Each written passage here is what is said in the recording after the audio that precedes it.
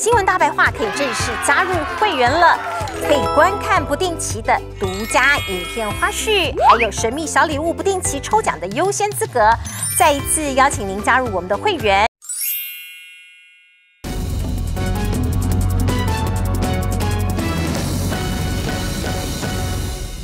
观众朋友，我们真的今天心情非常的沉重，因为高雄的城中城大火带走了我们四十六条我们同胞的人命哦，这个人命真的非常可贵。呃，到底谁该负责？有没有人要下台呢？到目前为止，我们看不到哦，高雄市有任何人说哦，这个呃要下台，或者是说在野党是不是应该要有一些反应呢？我们先来看看昨天，其实这个事情是发生在凌晨两点钟的时候，一直到中午、下午，新闻报道的并不多哦，死伤那时候数字出来也并不高哦。可是呢，很奇怪，你。当地的立法委员包括了哦，我们可以看到呢，这个是这个邱意莹哦，就有人发现奇怪了，高雄发生这么大的事情，你是在地的立法委员，你居然贴出来你的脸书贴出来是什么？站出来反恶霸，请大家和我们一起支持陈柏维啊！哦，要大家出来哦，投这个挺三 Q 啊，要反罢免呐。呃，那当然呢，大家今天就呃，其实昨天到了傍晚下午的时候，很多人就跑去问邱意莹说：“你到底在干嘛？你不知道高雄发生了这么大的事情吗？”呃，这个这个这个邱意莹的说法是说，这是小编忘记取消原本的排程啊，因为他每一天要贴什么文，他都排好了啦。所以呢，哦，他觉得这个呃说 sorry，这个时间点不妥哦，那我赶快删文下架。可是呢，你对高雄当地的情况这么的掌握的这么这么的差吗？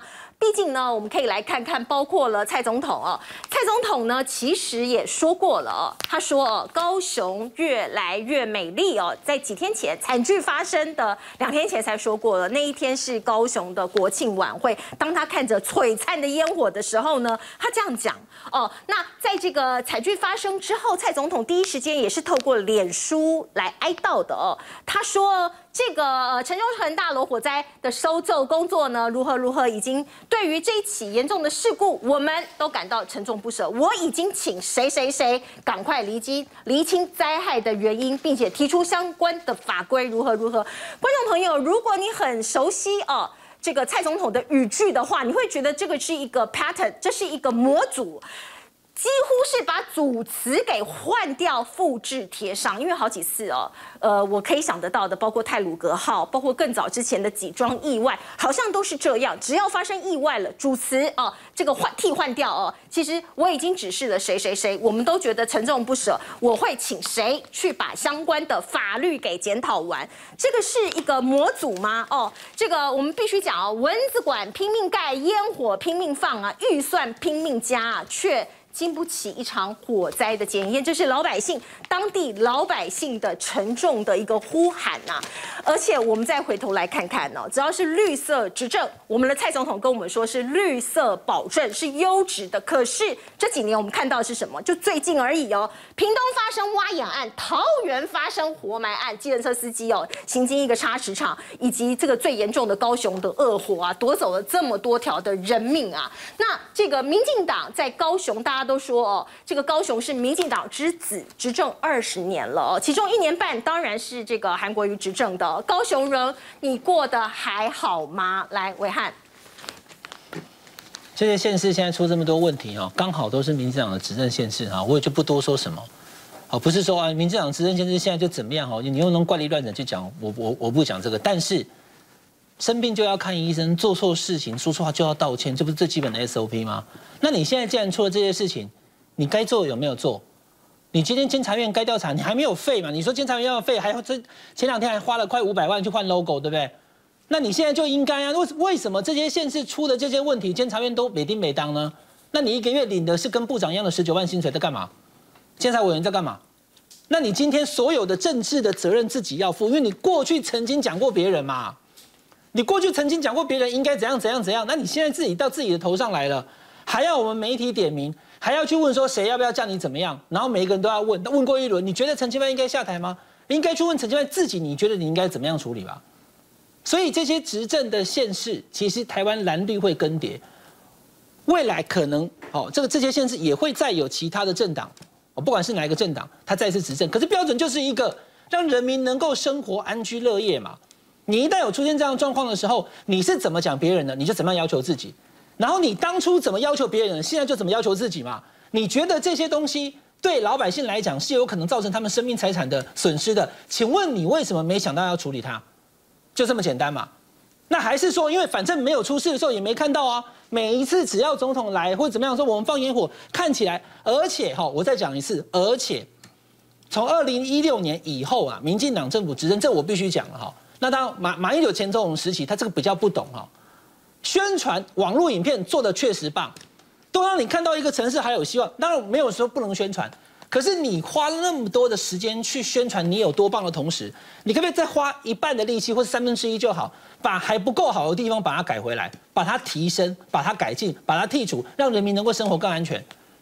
所以你今天出了这么多的事情，一个又接一个，挖眼案你也不能说直接是是因为谁当县长所以挖眼，可是他显然社会的安全网从小灯泡事件之后蔡总统所承诺的，今天会有哥讲一句我完全赞同，就蔡总统是个没有温度的人啊。嗯，好，我也知道他是个没有温度的人，就是说你跟他讲什么，他其实基本上他的幕僚会帮他去做一些研判，什么事情他该出面，什么事情不该出面。如果你是有温度的人，你的行政专机你一声令下，半个小时之内就能起飞，你当然可以到高雄去，嗯，你当然可以去看看那些人，而且你不用人家跟你提词，你看到他在那边，他的爸爸妈妈已经不在了，他在地上哭，你还要想说，哎，快点，我现在应该跟他说什么？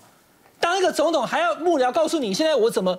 我怎么去慰问他嘛？你也不用慰问他，你你把他手牵着，不讲话也好啊。